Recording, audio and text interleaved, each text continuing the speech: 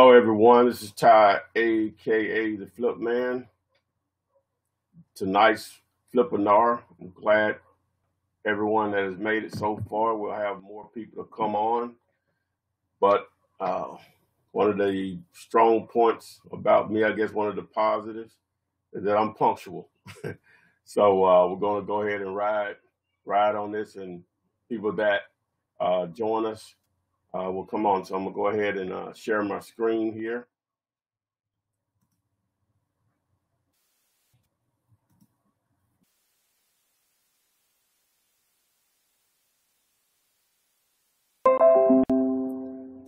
Okay, we're uh, in screen sharing mode. I'm assuming you all can see my white space, white background with the logo, with the title, and the subtitle. Wholesaling houses, no cash for credit, step by step. Yes, thank you, Don, for confirming that. Uh, co-wholesaling, JV deals is a topic. It's something that I haven't done a lot of, but like many of the things in residential real estate, I have actually done.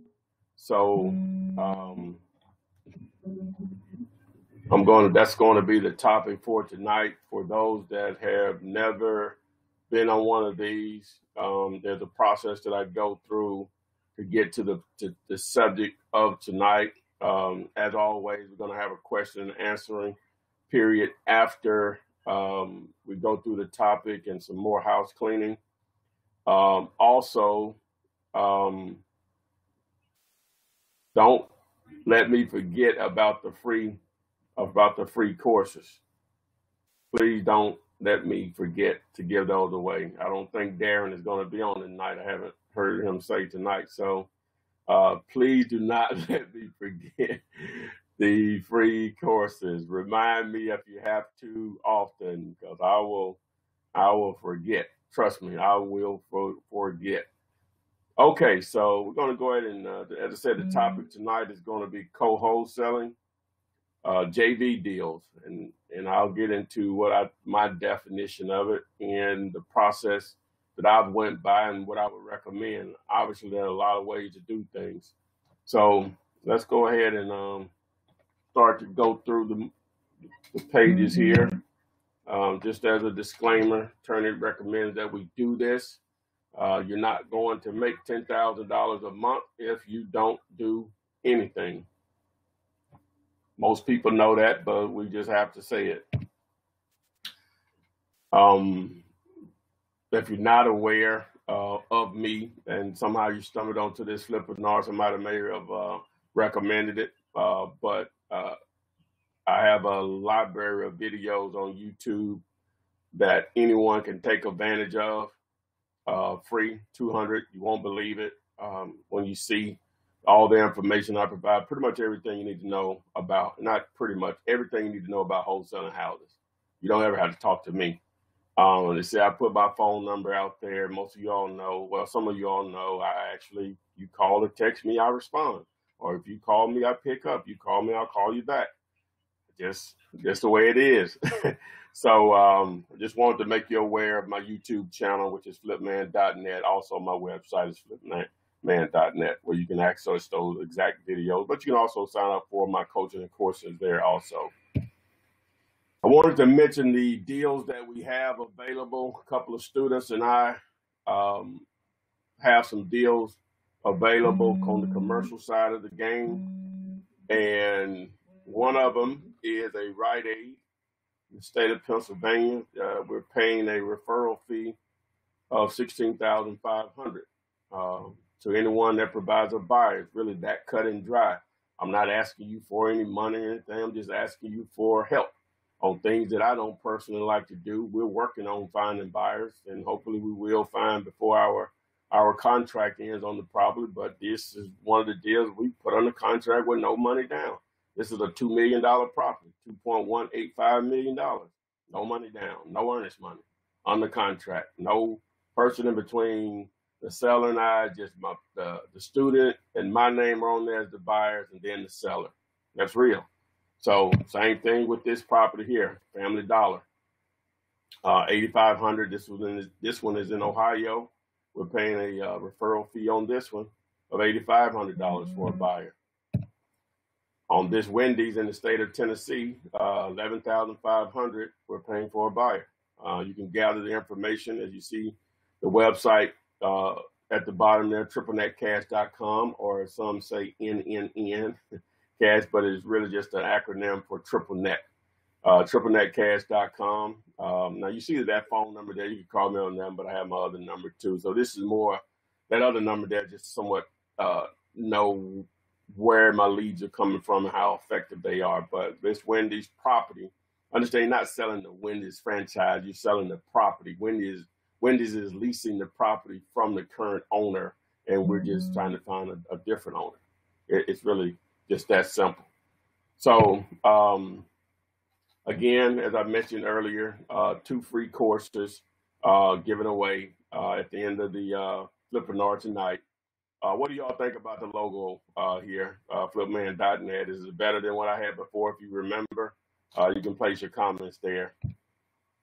Um, don't forget, uh, if you need private money, service I've hooked up with with uh, Keith Yackey, uh, privatemoneylist.net. You can go there. A lot of you all are here because you submitted your phone number um, through that site, and I text you say, "Hey, come join the Flipinar." I text you a video about a student uh, that spent thirty-two thousand dollars recently out of uh, Baltimore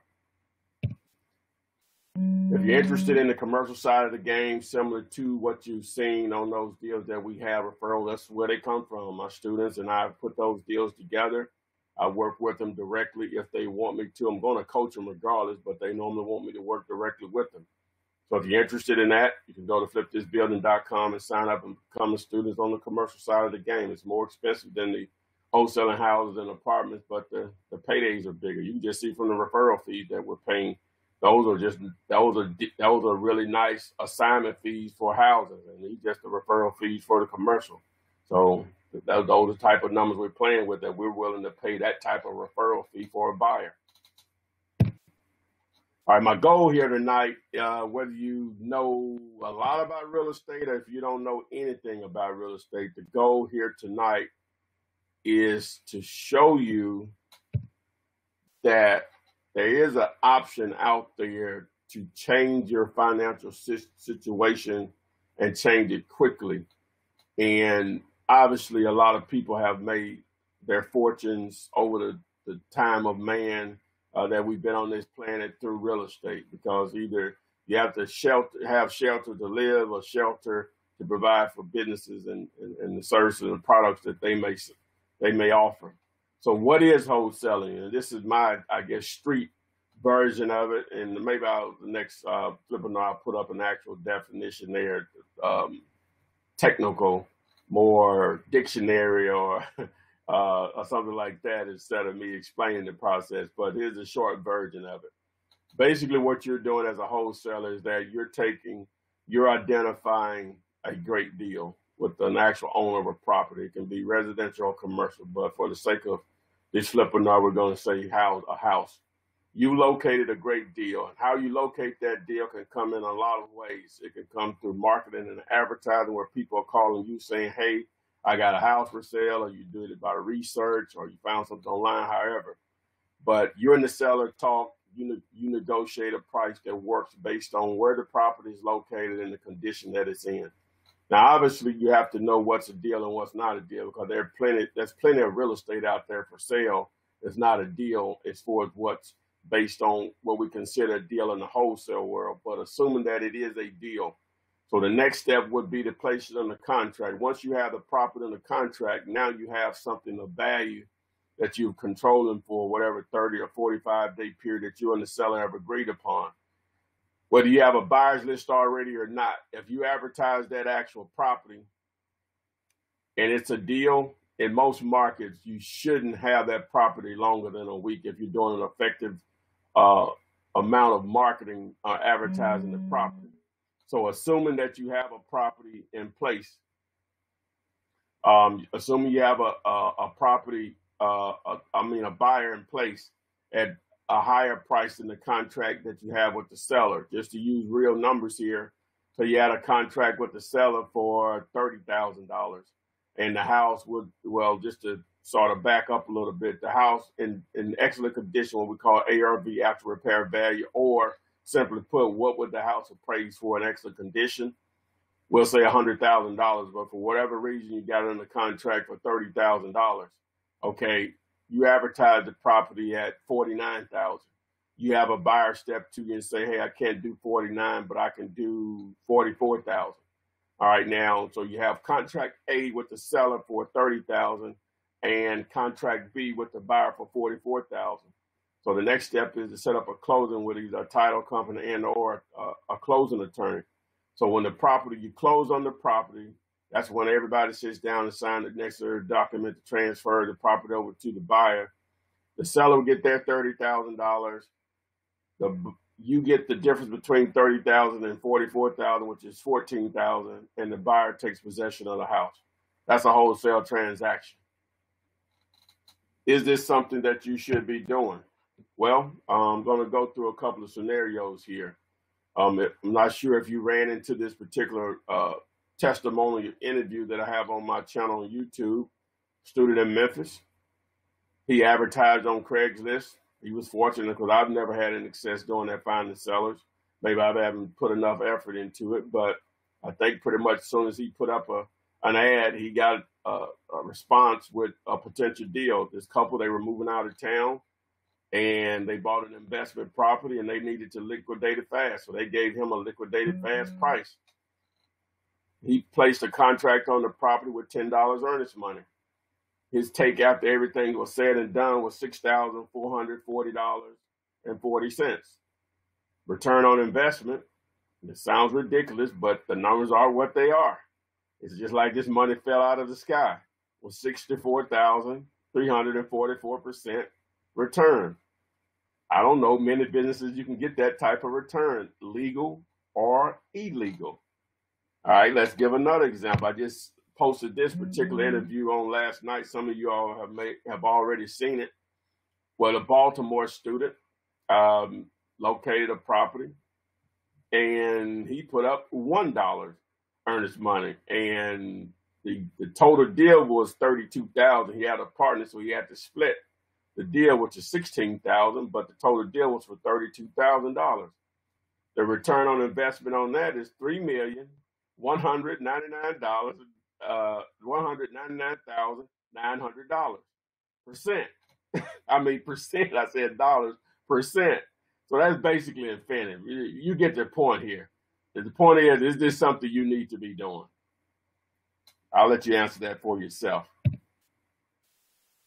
For those of you all there who don't know me, uh, and who I am and my little story and how I got uh, involved in real estate uh, and so on. For those of you that are here regularly, um, go to the bathroom or something. Give me about ten minutes to go through this this process or whatever. Then you may want to hear it again.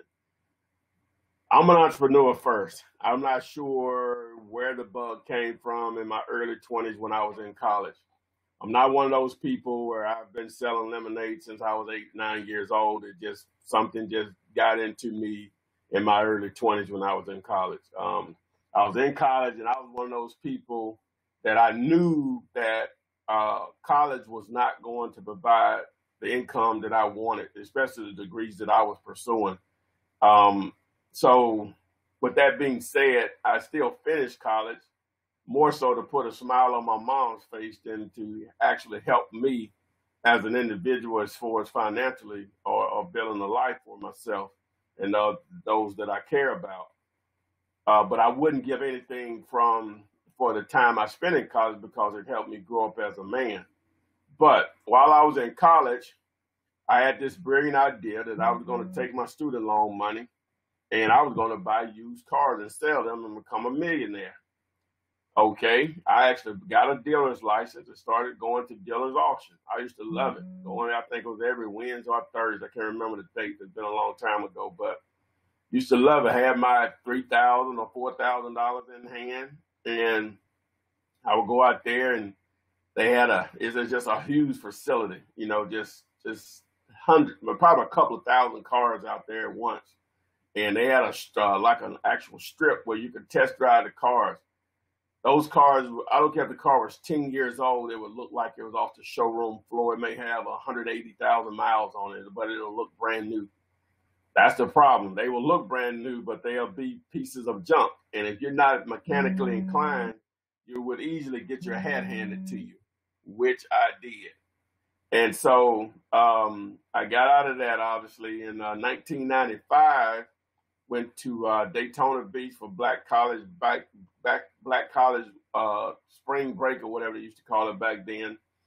Uh, and one of my brother's friends uh, met us. He was from Orlando. He met us up there, and he had started a mobile car wash, and said he had did six figures. So hey, I you know, I couldn't wait to get back to Birmingham to uh, buy me a van, a water tank, and a pressure washer, and, and, and start to make it happen. I did just that. That's the type of person I am. Found out about it one week. Bought. The, I had a little money from same thing, resources from my student loans or whatever uh, I had a little money. I took action. I didn't debate on it. I didn't research it. I didn't do all of that. You know, people say I've been looking at this for two years. You know, I don't get that. You know, but it is what it is. Maybe that's why I didn't. I wasn't successful with it. So, long story short, as long as there was summer, 95, 100 degrees, which is possible here in the South, I was fine. I can handle that. But when it we moved on into October, November, just like it is now, it's in the 30s, not going to happen. You know, I hate cold weather. I hate cold weather. It would take a lot of money for me to live in an area where it's cold most of the, most of the time. Not hating on or downplaying where some people are. Uh, it, it would be very difficult, very difficult. So I knew I couldn't do that because you can't run a business that's seasonal like that. There are some seasonal businesses, but for what I was trying to do, it, it wasn't going to work. So I always was thinking of crazy ideas or things I wanted to do or what I thought was going to be a good service or product. I always look for things that, you know, wouldn't cost that much money, but you could make money. Not a lot of things out there like that, but they do exist if you got some creativity and uh, take action. But I could never figure anything out like that. So I got into some, uh, some people convinced me to get into some network marketing. Problem with that is I'm not a salesperson. You have to somewhat be a salesperson, but get other people to believe what you believe. I know it may seem like I'm like that, but I'm really not. I'm just I just tell you information. I just give you information from experience uh, that I have, and I but a lot of people are interested in that experience. So I don't feel like I'm selling when I when I talk about real mm-hmm. estate and you know stuff that I've done or whatever. So, uh, but just when you start talking about network marketing, uh, that's a form of sale. You got to convince the people people what you believe, and I'm not good at that. You know, I'm, I'm just not. Now, if I can put something out there and people contact me or whatever, hey, I can handle that. But if I have to reach out to you to make business happen, it's not going to happen. That's part of the reason why I'm paying hefty bounties uh, on these commercial properties because that's grunt work. You know, I can find the deals, structure them, uh, negotiate all that stuff, but getting out there, just putting them out there because you really don't want to advertise those, just go crazy advertising. Uh, that's why I don't have the addresses on the uh, actual offering mem- memorandums or the flyers. They, they don't know why they call them offering memorandums, but really just a flyer with the information. Uh, so I, I, would rather uh, let people that are good at reaching out, networking, prospecting, and I just give us some of the money. So, but anyway, uh, fast forward 2002, October 2002. Um, my friend, uh, he, he and his now wife were going to school to become realtors. And the guy that normally taught the real estate course, I'm assuming you guys can still hear me. Say yes. Somebody say yes. Uh, but the guy that was uh, teaching the real estate course was absent. And the guy that substituted for him, he didn't talk about being a real estate agent. He talked about he talked about um, being a real estate investor and creative ways of real estate investing with no money down. So my friend, he knew I was an entrepreneur, so he mentioned some of the things. He mentioned some of the things that uh, the guy was talking about. It was interesting, but I didn't act on it. All right, because I still didn't. I, I just didn't. I don't know why I didn't. So fast forward a couple of months later, I was at my mom's house for uh, Christmas. Couple, it was two days after Christmas. I was up early waiting on her to prepare be- breakfast which were homemade biscuits with syrup, you know, my favorite. And um, not healthy, but it's still my favorite. And uh, I was up and I was watching TV and I stumbled across one of Carlton Sheets no money down infomercials, which you know we had all seen them over the years. You don't see them now, but you know back in the uh, '90s, I guess the '80s, they were on every Saturday and Sunday morning. All you know for two or three hours, you just change channel and it was somewhere else.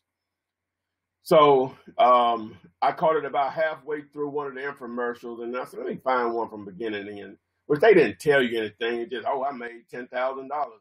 Carlton helped me make this, helped me make that, but it really didn't tell you how they made the money.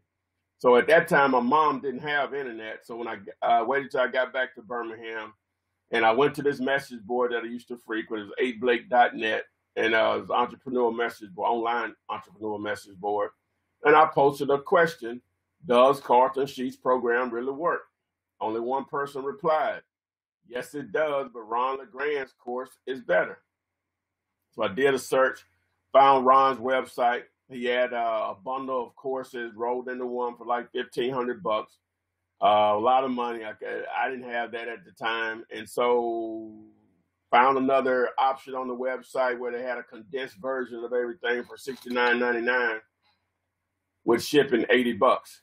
I got that. It was in cassette form, and all it was was just teasers. You know, great. They put it was a great. It was a great uh, promotional product because it, it really made you feel like you could do this, but it wasn't enough information that you could just go out and do it, especially with someone like me that didn't know anything about real estate. So from there, um, I had made up my mind that if I had to get a second job, I'm going to save that $1,500 and buy the bundle of courses. So a couple of days later, I thought about eBay. I said, let me do a search on his name and see if um, there are any auctions out there on his on his information on his courses. And so there was. And so I bid it on the auction, lost the auction. But back then, I guess you uh, sellers could contact bidders. And the guy emailed me and uh, asked me would I be interested in uh, buying a, a, burnt copy, or in the hood we call it a bootleg copy of the course. And so we agreed upon four hundred dollars. Got the course. It was like Christmas, and took me about three weeks to go through all of it because there was um, it was wholesaling houses uh, I'm assuming y'all y'all can still see my screen. I just got a notification. Uh, it was wholesaling houses, uh, retailing houses, which is basically buying, fixing, and flipping, uh, for sale by owner, owner financing, lease options. So I listened to it all. I didn't know I didn't supposed to listen to, but what what appealed to me, which would only probably have been wholesaling at that time, maybe lease options. And so I was just on information overload. But if I didn't get anything out of it, two things stuck wholesaler stuck out to me, and I knew I needed to get my phone ring, which was going to be right down my alley because I didn't want to reach out to people for business. I wanted people to put the uh, put the uh, advertisement out there, and let people contact me if they need what I had to offer, which was buying houses. So bandit signs attracted me. So I bought a set of bandit signs. I overpaid for them. I bought 50 signs, spent $250 on those. I didn't know any better. Uh, you can get a lot better deal than that now. Obviously, you can get 250 signs for that amount of money. But uh, I didn't know any better, so I put them out on a Sunday morning. Started getting calls that Monday. The first two calls were actually deals. The first call um, was a a seller that it was going to be a lease option opportunity. I'll tell you about that deal, which eventually blew up in my face put the deal on the contract, explained to him how the lease option was going to work, that I was going to do a lease with an option to purchase with him and then find a tenant buyer. They was going to give me a down payment. I'll make a payment to him and I'll get a little extra over. And at some point, she's going to cash him out of the deal. He was fine with that because he couldn't afford the payments on the house anymore. He lived somewhere else. His mom left him the house. He just needed a solution. So it appeared that we were on the same page. All right, I advertised the property lady stepped forward. I met her at an old Charlie's that's not there on Center Point Parkway in Birmingham. If if you ever see this or you're on here now, you know anything about the ham. She gave me five thousand dollars sitting there uh, about this time one evening, and you know, I just come believe Man, this stuff it, it may even actually work. So the guy that owned the property was a handyman, and it needs some repairs, and she wanted some stuff done. So I said, well. I'll just let Mr. Such and Such uh, take care of that for you. And uh, so they were supposed to meet. So in that time frame, a friend of mine that I worked with when I was working a job, I was working at Bell South, which is now AT&T. He did mortgages on the side. So I, you know, I was just barter, you know, just trying to help a friend, help a, you know, somebody I was doing business with with the real estate. And so um, my friend mentioned, say, hey, yeah, I found somebody to move in your house. The lady already has given them five thousand dollars. The seller felt that I should have given him half of that money. He never conveyed that to me. So when the lady was supposed to meet him at the house so they could go over what repairs he would do in the house for her, he came over there with a just horrible attitude, told the lady to get off his property. Tyrone didn't own it. And, you know, she or he's gonna call the police. So the lady called me just crying, hysterical. And I asked her where was she right now and I would bring her her money because she had thought she had got scammed. And so I had already spent seven hundred dollars of it, so I had to come back up with that. And at that time, I really wasn't making no money now, so I had to come up with that seven hundred. You know, you know. So anyway, so I, I met the lady, gave her her money. So I called the um, the owner, and he and I had a heated dispute. You know, and long story short, he told me if he ever see me again, it wouldn't be pretty. But I hope, uh, uh, thankfully, I haven't seen it. so anyway, um, that was 14 years ago. So anyway, um, the second call was two sisters. This is what I'm talking about, tired landlords. Their mom died, left them a house. They had, you know, a lot of people. We're not going to sell mama house. We had too many members there. We'll just rent it out to some needy family members. And of course, their family members are not going to pay you. So they got tired of going back and forth with that fixing the house, people not paying them, fixing the house, paying taxes. So they called me. Uh, we agreed agreed upon twenty thousand dollars. I showed up at their house in my 1985 Toyota Celica white convertible. It was 2003, so the car is 18 years old, if my math is correct.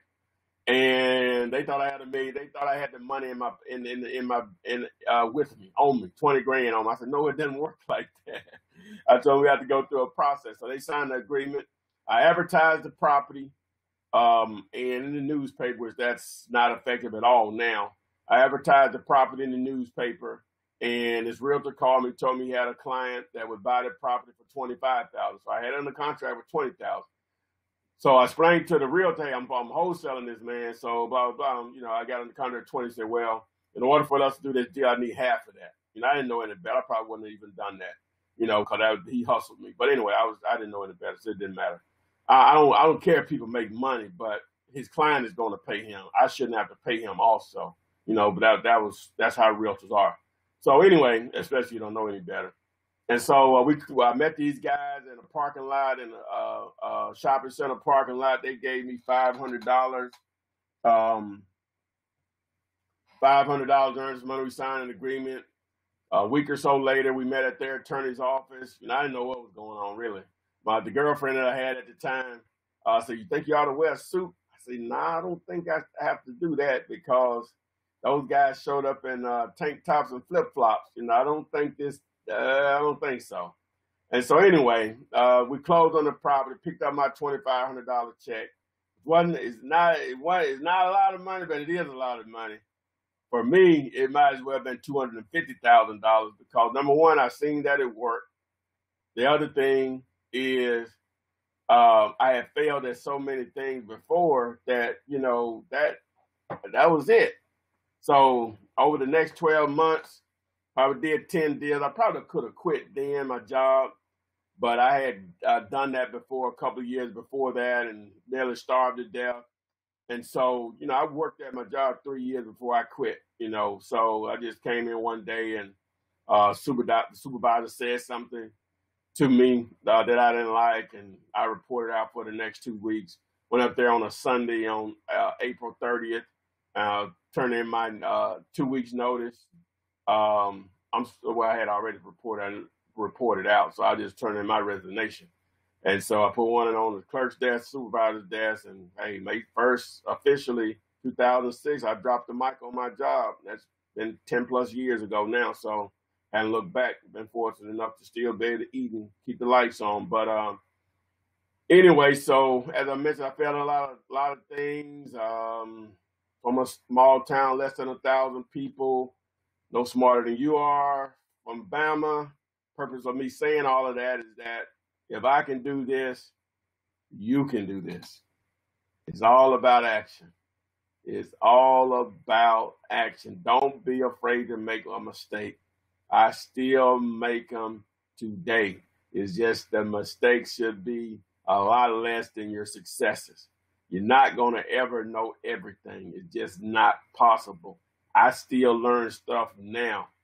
Um, students bring stuff to me. I had never even looked at it the way they look at it. You know what I'm saying? They may have never even done a deal, you know, but I know something good when I hear it or it can be useful. So, um, what I discovered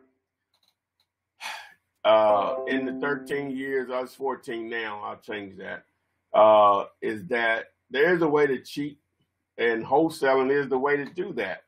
But before we get to that point, uh, most people think they need a ton of money. Uh, they think they need uh, need to have a real estate license. You don't. If you want one, that's fine. That's on you. But you don't need one to do this biz. Um, books are fine. I'm not a reader. Uh, there are very few books that are not going to be upsells. Going to be very few books that are going to go into detail on what you actually need to do. And that still will depend on your level of uh, what you understand about it already. Um, because a lot of the stuff that I know in commercial real estate is because of what I know in houses and just how to put deals together. I just needed to educate myself on on on on the what makes a deal and what make what what's not a deal, what what what's important to the to the buyer themselves, and then you can figure out how to make the money. You found out where the money is, and then obviously where it's going. You stand in the middle. Uh, I didn't come up with that, but I like it. Um, but taking pointless business classes in college, I did have a BA, a business administration minor for the history. Uh, uh, a matter of fact, uh, my major is history. I think it's African American. I don't even remember African American history. What am I going to do with that? Anyway, uh, all of us have went to seminars. Even after I was making money, I was still going to seminars because I was still I was looking not to really sign up or anything, and not really the process of them putting the deals together because that's pretty much the same. But I was always looking for different ways to to, to find more leads, to find more deals. That that was my interest. But I really, I, I eventually realized that there was nothing new under the sun. Now there's a lot of technology that has changed since I got into it 14 years ago. Uh, but at the end of the day, it's still uh, the same as far as putting an actual deal together. And um, like I like I said earlier, that when I first got started, I was on information overload. Um, that was part of uh, what uh, Vic explained on the uh, interview we did. The guy that spent the thirty-two thousand dollars in Baltimore. That you know, I was asking why you didn't call me for this or that. You know, he said, "Man, I just had, you know, I was just I had so many mentors and stuff or whatever, and you probably don't want I could really deal with, you know, at, at any time." He said, "I just didn't." So, but anyway, just on information overload, just just too much coming at you.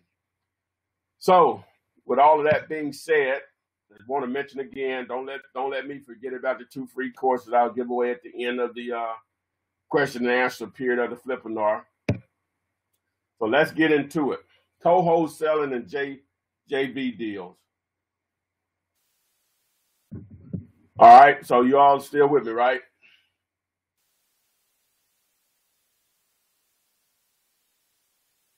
Yes. Okay. All right. Good. Good. Good. Good. All right. Co-wholesaling. What is it? All right. You're a wholesaler, and Bobby is a wholesaler. Whether you all know each other or not, one of you all have a deal in the contract. The other possibly has a buyer, or the one that has a contract uh, on the property, he's looking for a buyer and wants to go through you. All right, flip it, and you you have it under contract, and you're trying to get someone to help you find a buyer. I've done these, but I'm not as open to doing. But I want to talk about. it. I try to bring stuff to you, whether I actually do a lot of it or not. I've done it, you know, but I, it may be an avenue that a lot of people that can get into maybe get their feet wet, make a little money, and then you choose. But I'm all about control and the the the less the fewer the less people that we have in the deal, the the the, the easier it is, or the less complicated the deal will be. All right. So um, so the first thing, like I said, is a wholesaler contacts you, and we'll just go with this that you have a property. Okay. Obviously, that's in my opinion, that's the best prop. That's the best position to be in. So the first thing most of them want to know, they want to know how they're going to get paid if they release this buyer to you. Now, I'm willing to do 50 50 in a lot of cases, or I'll give them the option. I'll say we can do 50 50, or I give you a price. I give you a price, and I don't care what you make over top of that. but if we do, if we do it that way, if I give him a price, then we're gonna have to put it on the contract. And if we do that, I'm treating him just like a buyer, just like he's a cash buyer. I need five hundred, probably a thousand dollars earnest money.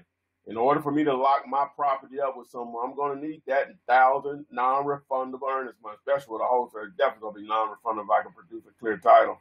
He ain't getting that back. Um, so that's if if I give him a price that's higher than my price. Now we're just going to split. I tell him, hey, I got in the contract for for, for twenty five thousand. He said, Well, I got somebody that'll probably pay about 34 for it. I said, Well, we'll just split it 50 50. That's nine grand. We'll just both make 4,500. All right. So it, it'll be up to him on how he wants to paper up on that. Now, I normally don't have anything in place um, because, You know, especially if I got under contract, you know, I, uh, it's up to you. If you don't trust me, then I totally understand. Send me something. Let me look at it. I tell people, you know, some of you may have heard me say that and I'll look at it. If I, am comfortable with, it, I'll sign it, and we'll go from there. Um, so, or or and I, but most of the ones that I've done, we didn't have anything in place. Um, I just paid them, uh, and I don't mind paying them fifty percent of the deal. The way I look at it is, I probably didn't even know the buyer that they know, and that he he paid me, or I paid him, however you want to look at it to have access to that buyer now because once we sit down at the closing table, or I'm going to get his contact information. You know what I'm saying? It's not like I'm not tired, but same thing though. If I bring a buyer to the table, I understand that a wholesaler is going to have an opportunity to get his contact information. Those buyers are not mine exclusive. I had a lady, I had a lady actually tell me that any deal that that buyer does, she should get paid off of it. I said, I don't do business like that because I won't require the same thing of you. Oh, we didn't do business. She she she refused to do business with me. That that, that was fine. You know, it didn't make any difference. But um, it is what it is. So I'm not going to do something that that, especially when I'm, I'm talking about we're on the same level as, as wholesaling position, that I wouldn't accept myself. Is what I'm trying to say. So the other thing, the other side of it is that you see a property advertised, you just from the ad, you probably know it's a wholesale deal. You contact them because you may have a buyer ready to go on something like that. And um, then it becomes you're somewhat in their ballpark and what their requirements are for you to do a deal. Again, it's still going to be up to you on how you control the deal. And his motivation, he could be just like a motivated seller because his time is running out. So he may be apt to do do it the way you want to do it, but the main thing is just ensuring that your name is on documents, especially when you're producing a buyer. I would probably just go ahead and do a contract with that wholesaler at a price, and then whatever I make over that, you know, that's that's probably the way I would do it. I wouldn't sign any JV agreement stuff. You know, I guess it could be presented or whatever, but we need a purchase and sale agreement with my my name and my buyer's name on it at some point, and then I'll sign a purchase and sales agreement with the wholesaler. We still can work those numbers out. That is 50-50, but that's the that's the best way to ensure. And you can only do this stuff when cash is involved. Uh, this type of stuff where you can have double assignments uh, for one property or whatever. So at the, at the end of the day, okay. So once you get past that point, and a wholesaler's contacted you, we'll just go with that for right now. You still have to analyze the deal. Now, sometimes a lot of guys will have properties under contract and it's not an actual deal. That's why they're having trouble moving it. Now, sometimes they'll have a smoking deal and just don't know how to move it. Um, I think I heard someone say some people know how to how to find great deals, but don't know how to to move. Don't know how to get it to get a buyer for them. And some people know how to find buyers, but don't know how to find deals for them. So it could be it could be that situ one of those situations, and you have an opportunity because you do have buyers, you do know how to move properties, and you just take advantage of it. Now, as far as um, when he started talking about virtual wholesaling, if you're going to virtual wholesale, now that's the way to go, in my opinion, because now you have someone on the ground and you can produce a buyer whether it's locally there or out of town. Then now you have someone on the ground that can keep the seller and the buyer separate. That's the biggest. That's the biggest hurdle with uh, virtual wholesaling that I know a lot of people say uh, it's easy and all this stuff, but trust me, that's always your biggest hurdle when with a wholesale deal. Once you have an actual property on the contract and you have a buyer interested, is trying to coordinate and making sure the deal doesn't go south because the seller or the buyer normally is going to be the seller side doesn't understand the process, which they don't need to because they're going to get what they're supposed to, and it just can be confusing with that being said, so analyzing the deal, um, hopefully the reason that they haven't sold it is because they haven't been able, they don't know how to find a buyer. That that's that's that's what you're hoping for after you look at the numbers, because the numbers are going to be what they are, they are, because you can put a ton of properties on the contract, but for cash buyers to show up and pay for it, it just needs to simply be uh, to be a no-brainer of a deal. You know, that's, that's I don't care what level of it that you're in, it, it has to be a no-brainer of a deal. Now, sometimes you'll struggle to move a property, and you only need one person. I've had that to happen a lot to me out of all the properties I did. I only had one person to actually make an offer. I've had people to, to look at a lot of property and no offers ever come through. I got one right now. I can't. I, I, I probably get two or three calls a day on it, and nobody calls me back to make offers on it once they go out there and see it. So, and I don't have much room to go on it, but that that's that's the way it is sometimes, or whatever. And then other properties, I think shouldn't be that great deal, and, and hey, I get a buyer the next day. It's just some of it is no rhyme, no rhyme or reason on it sometimes. So we can go back when I say control or not. We can go back to where you, what's your position? Are you the one with the property under contract, or you're the one that's contacting the wholesaler and he has the control. So uh, I'm big on that. Uh, I'm big on that. I'll walk in a minute if I don't have a certain level of control over a particular deal. Um, people call, and I had to learn this the hard way. So, guys, you tap into my mistakes when when when when I'm talking, and or especially when I'm coaching you. You're tapping into my mistakes that I, I advise you not to make the same mistakes. I don't know everything, I made a lot of mistakes, and I, I can tell you what not to do in a lot of situations. I can tell you what to do also, but what not to do. And when people call me, I, you can only imagine the number of calls I get. I get all kind of calls, know, and I welcome them all or whatever. I'm, but I'm like anyone else. I have my good days and bad days or whatever. But um, I get people calling me and they say, "Well, um, I got a property and blah blah blah." And I, I, I don't do a lot of that because I can get wore out there. Just not enough time in the day. So I try to stay consistent, but I do listen to people or whatever. But the thing is, a lot of times they don't even have the property on the contract, or they're going with my partner or somebody. Nah, I, I don't. It's all you're already about to try to interject me into it. And if you're not dealing directly with the seller of the property, I'm normally not going to be interested. I'm just not or the broker. I, I, I can understand they got a broker. That's that's the commercial side of it. You're probably rarely going to deal with the seller. It's always going to be a broker. But I'm talking about where, you know, it's, it's you, then somebody else, maybe the broker, then the seller. Or it's you, somebody else, and then the seller. That's too many people for me. It needs to be you. I have it on the contract, and and, and that's it and that now I still may not be interested because of if it's houses, but because it just spread me too thin. Because if I knew you knew what a deal was, then I'd be a fool to turn it down. If you're calling me out of the blue, say, "Hey, can you help me?" but I know a lot of times people don't know what a deal is because it's easy to get properties on the contract, but is it a deal or not? So we get to the paperwork, which I somewhat already have went through that. It just depends on what your position is as far as the paperwork. Again, I like purchase and sales agreements. These referral contracts, these JV contracts, all that stuff, guys, it really, at the end of the day, they really don't mean anything because you're not an agent. See, you, you, you're now acting in that role of a real estate agent because you don't own the property. But if you interject with a purchase and sales agreement, that gives you some interest within the deal. That's why if I'm going to do any type of wholesale, wholesale to wholesaler, um, I got to be on a purchase and sales agreement. So when people contact me about these properties that we're uh, marketing, and I just, you know, I'll tell you, and, and some of you may be on the call. I don't have anything that I can send you, but if you got something, I'll take a look at it. If I'm comfortable with it, I'll sign it. Most time it's nothing but you know two or three sentences. Now I'll pay them if they find a buyer, I'll sign that, whatever. But I'm gonna pay you.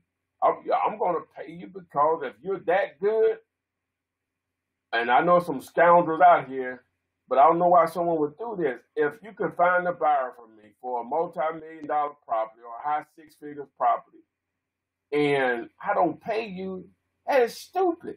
You you've shown me a lot.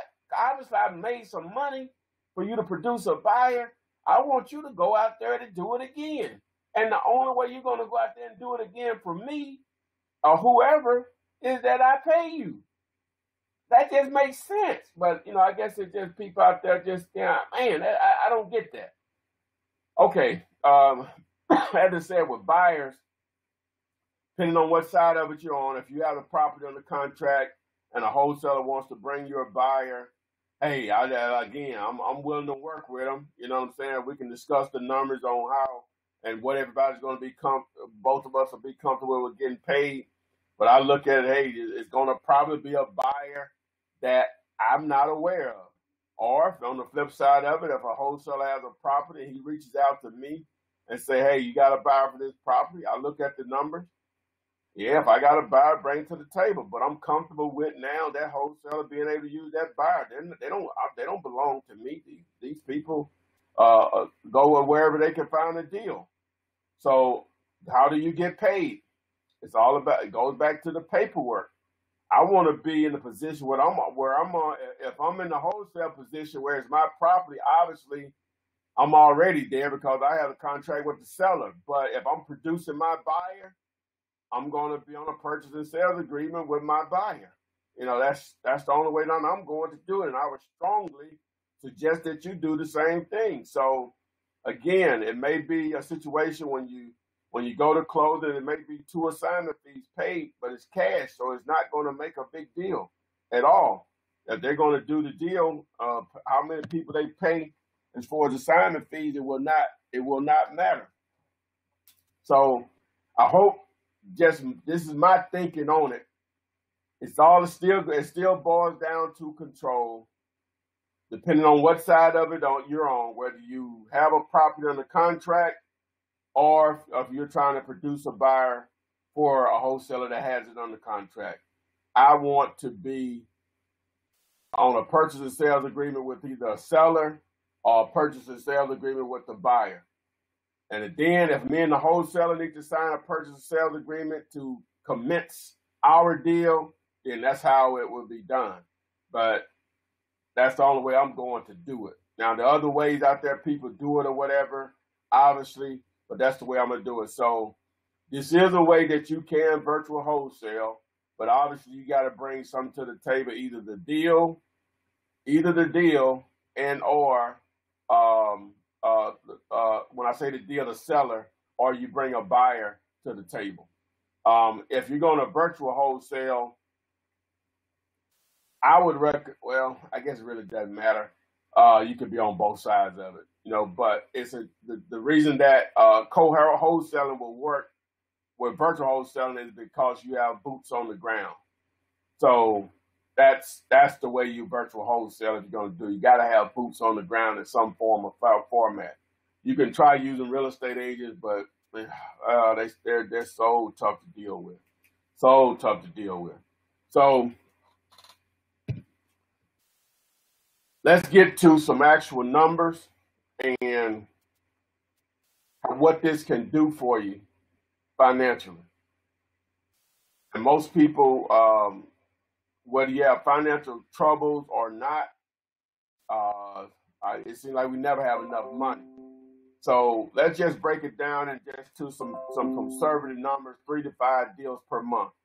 I'm assuming you guys are still with me. Okay. All right. If you want to do three to five deals per month, the numbers are easy for me. You need to be talking to three to five people per day. That's over a 30 day period. You are you're really you're you're tired as a wholesaler, but in my mind, I'm an advertiser slash marketing firm. Cause my I, I got to get up and market. I'm slacking right now. I, I need to I need to get some stuff going right now because my calls are down. So flip man, if it, it, the so-called flip man don't do what he's supposed to do, he's not gonna do deals either. And I got some stuff pending or whatever, but my calls are down. You know, so I, I got to get out there and make it happen in some form or fashion. So let's just break it down. If you do one deal per month and you average five to seven thousand dollars per deal, that's going to probably be about the, the, the lowest it'll go for most markets, You're between five to seven thousand. You out in Southern California, uh, Bay Area, New York City, maybe South Florida. Uh, yours may range from fifteen to twenty five thousand on average. You know what I'm saying? But for most people, five to seven. Sometimes going to be a lot bigger, be a little less. But you know that. Uh, so, but we'll just do it on these conservative numbers. So five to seven thousand per deal. So you do one deal a month, one deal per month, right? That's twelve deals per year. So that ranges from sixty thousand dollars to eighty-four thousand dollars per year. That normally will change most people's financial situation, whether you're already making that type of money or not. Let's do two deals per month. 5000 to 7000 per deal. That's 24 deals in a year. That's 120 to 168,000 dollars a year. That changes the situation even more. Let's get a little bit more uh, excited about it. Say five deals per month, averaging five to seven thousand dollars per per deal. That's 60 deals in a year. That's 300 to 420 thousand dollars a year. Uh, they know your name at the bank. Hello, Mr. Taylor. How are you doing today? Doing great. How are you? Remind me again the two free courses, uh, no coaching that I'll give away at the end. Uh, we're going to go into the question and answer, but let me do a little a uh, little house cleaning. You know, you can get proof of funds at realpof.com. You know, privatemoneylist.net. You can get uh, over 400 private money lenders, 400 cash buyers addresses in different markets around the city. I mean, around the country. And if you don't win the two courses, this is a special. And I'll probably run this for uh, run this tonight. Uh, but you can get I'm separating the courses or you can get them both together. Yeah, if you only need wholesaling houses, just the course, no coaching, you can get that just for one payment of 197. If you want the wholesaling apartments course, one payment of 197. Or if you want to do both of them, you can get both of them for 297. All right, you can get that at flip, theflipman.com. No coaching though. So you save $97 if you want both of them by taking advantage of the 297 offer. But if you just want one of them, just 197 for the one that you want. Okay, so let's get over here back to my uh, screen and stop sharing. And we will entertain some calls. Darren is not on here. It's not. But uh be happy to take some questions now.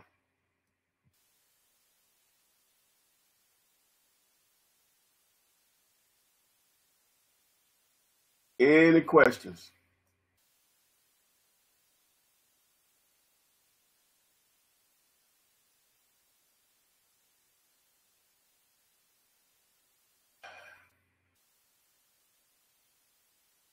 What does a typical day look like for you as a full time wholesaler?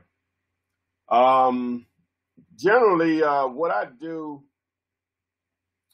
um, as I was just mentioning, um, if I'm doing what I'm supposed to be doing, let me just say that, um, is that I'm going to um, either be putting together a direct mail campaign. I'll spend a couple hours on that, and or um, you know, doing some bandit sign. I, and I still do my own bandit sign because I'm not satisfied when I paid people to do it in the past. And plus, it just is a way of keeping me a little humble, no matter how much money I may, you know, put in my pocket. Um, so, and then, but I slack on that because I just have so much other stuff going as far as the commercial.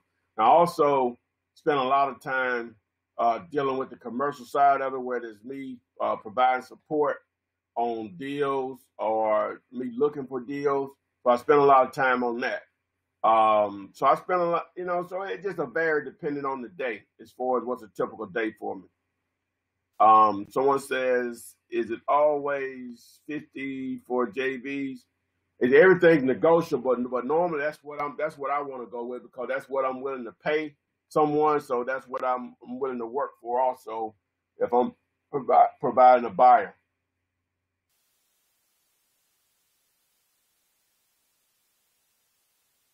All right, someone said, what is the process on how long you keep the bandit signs up and when do you take them down? I never take them down. There's no reason to put them up if you take them down. The only way you're going to get get the uh, response that you need is that they stay up. Now, if you're in a market where they just they just not going to stay up, and you do have to take them down, um, or uh, let me put it like this: if you can put them up, but they take them down, I would just be a weekend uh, bandit. You know, I mean, weekend warrior. So uh, over time, people will get used to seeing them on the weekend, and you'll probably eventually start receiving calls. You know, but you may have to go through a couple of uh, a couple uh, a couple of uh, orders. You know, but I would be putting them out, especially if you don't see them anywhere. So that means people are not used to seeing them, so that you're going to start to receive some calls at some point.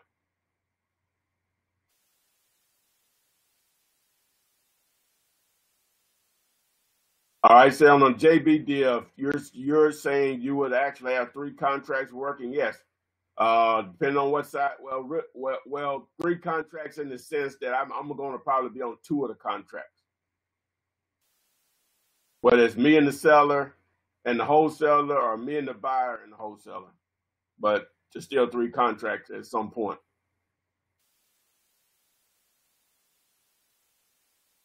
How do you keep the seller buyer from knowing you offered the buyer a higher price? Well, that, that's that's part of what I what I was talking about with virtual wholesaling. Because the buyer, most buyers are not going to buy without seeing the property. And a lot of times, uh, well, I know a lot of if you're virtual wholesaling, the only person going to be able to show it is the seller. So you're going to have to have somebody on the ground to keep them apart, you know, from discussing pricing and what's going on. But you can be transparent with your with your buyer, uh, but they will eventually know at closing because I do assignments, you know, so it's right there in the paperwork. But before then, they don't know. Uh, that's that's common. They they they don't know.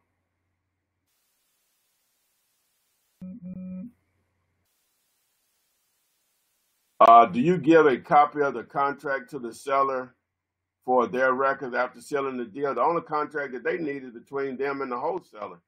Anything else is is not of, of any use to them. Are there certain areas you target for putting up bandit signs? Um, if if you've never done it before, what I always recommend to my students is putting them up in areas where you where where where they um, where they already uh, exist. It obviously you have the idea that hey, I don't see any in this area. I'm gonna put something up, but normally it's already been tested. And bandit signs are not new at all, and so normally you're gonna be wasting your time and money. But you can always test. You just never know. Uh, you can always test, but that's normally how it, how it works.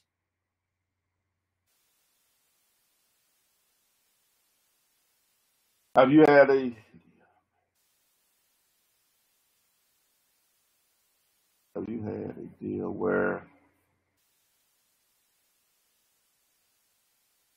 um I'm not sure about the question, but have you had a deal where or made a deal where another wholesaler on the opposite end I, I assume you say have ever been involved with a where another wholesaler has been involved. Yeah, if that's what you're asking, yes, I have.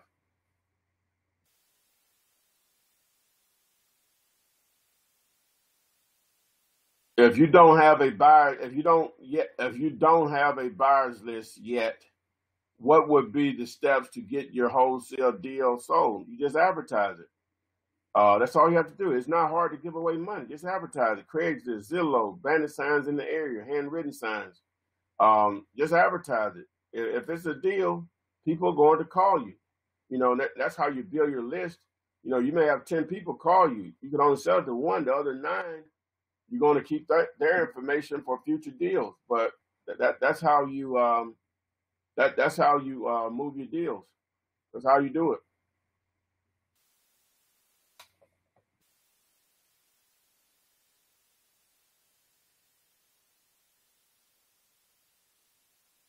I'm going to share my screen again here. I want to just make sure you have this reminder.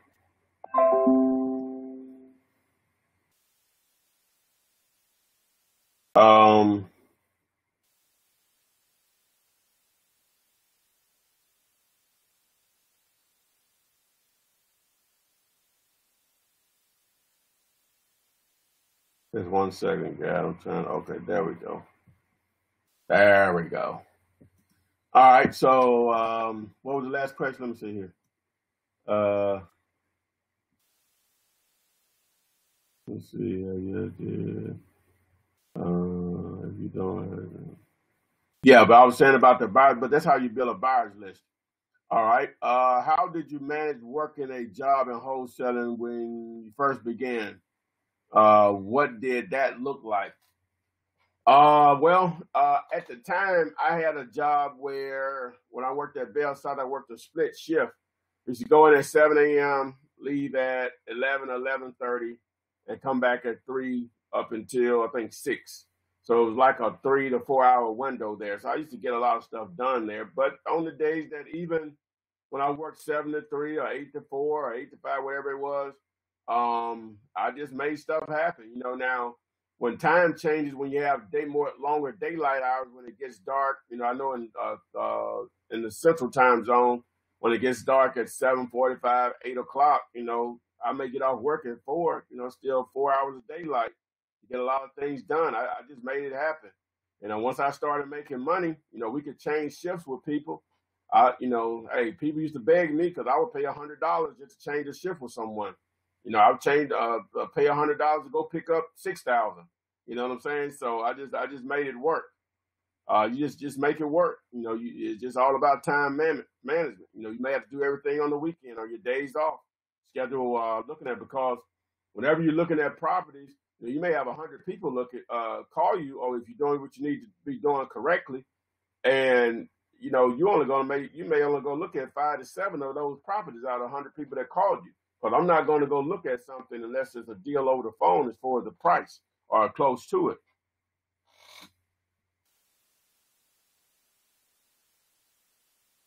All right.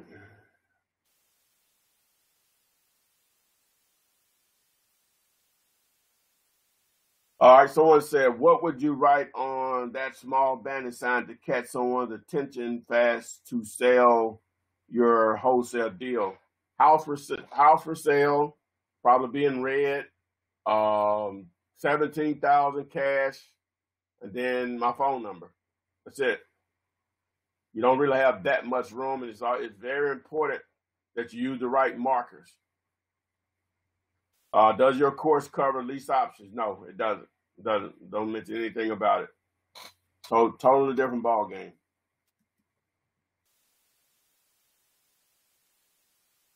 What's your experience with probate properties? Uh, I think I'm going through a situation with that right now. I don't know if we're gonna, you know, it'll be a while before we close that deal. There's nothing I seek out. Whenever you uh, use absentee list, for me, it, it, it targets everything: uh, probates, landlords, out of town owners, uh, divorce. You know, it, it it tackles all types of motivations when you do direct mail with motive. So I don't specifically target probate if it comes my way through my marketing efforts then I'll work it. You know, uh, that's me. But no, there's there's a there's a niche there.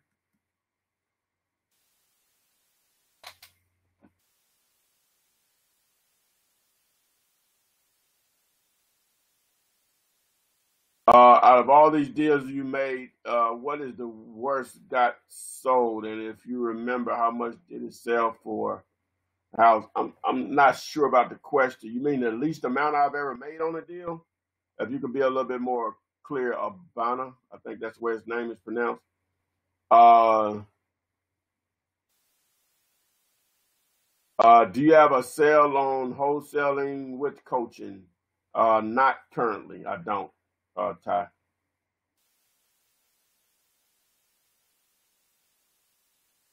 Oh, the least I've ever made is uh, five hundred dollars.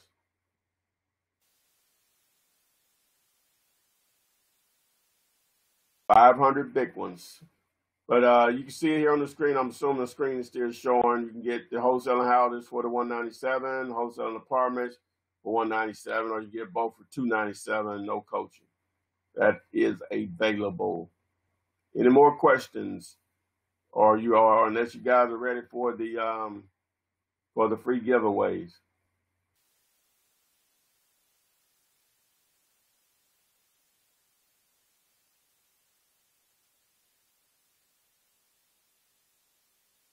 Okay, uh, people say they're ready, so uh, we'll we'll roll we'll we'll roll with it then, man. All right. Uh, so let me let me go through the little deal we got here to do that with. All right. Um, now, whenever I uh, I'm going to do the phone number first. Whenever um, um, I'm gonna call out the last four of your number. If you'll just um, text me and um, if you'll just text me and with your name, um, then I'll give you instructions on how to get it. All right. Um, let's see here.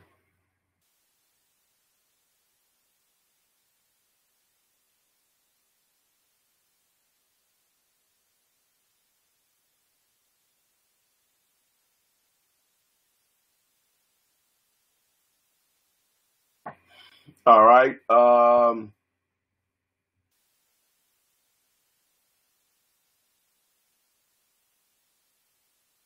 this is exciting. Uh, um, let's go with uh, last four digits four nine seven seven.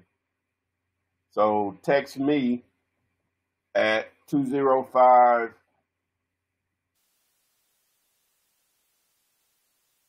492 3425. 205 492 3425. And the last four digits of their uh, number is 4977. All right, let me get the uh, the one with the name.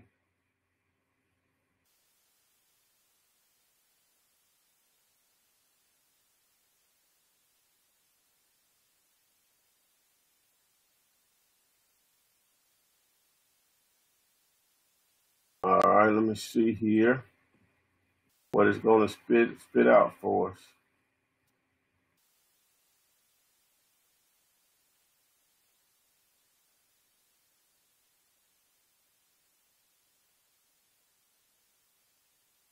All right, uh, La- Leticia Knight, text me.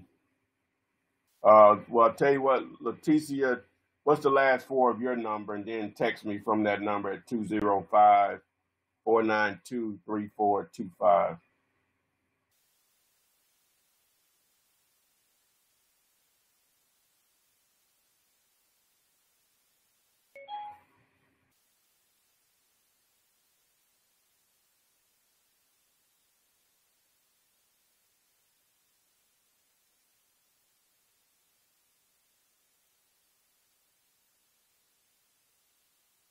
So Leticia, I'm waiting on a response, darling.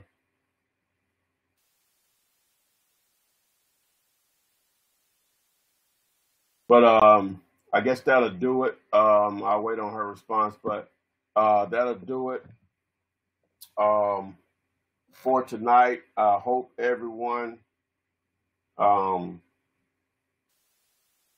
everyone enjoyed the uh, info.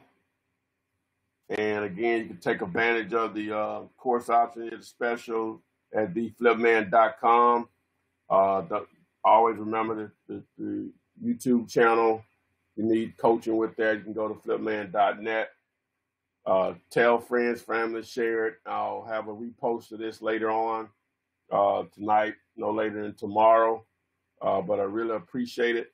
Uh, that uh, hopefully this stuff hurt, this helps. As long as you all are showing up, I'll try my best to continue to do it. Um, Flip man, and I'll see you on the uh, flip side. Thanks, guys.